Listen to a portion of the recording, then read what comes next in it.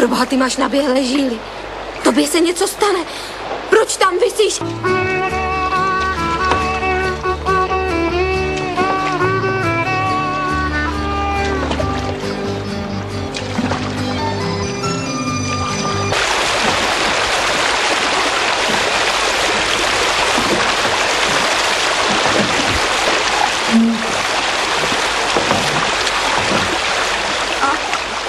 Zaber! Zaber! Pozor! Pozor, tak ne! Ale...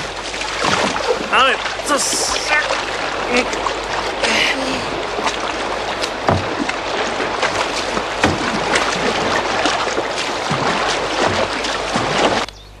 Petro, miláčku. To není svatební